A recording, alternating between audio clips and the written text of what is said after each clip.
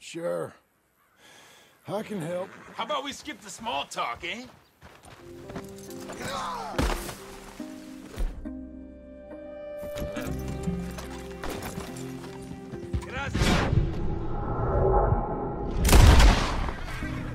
You'd have been better off walking off this mountain.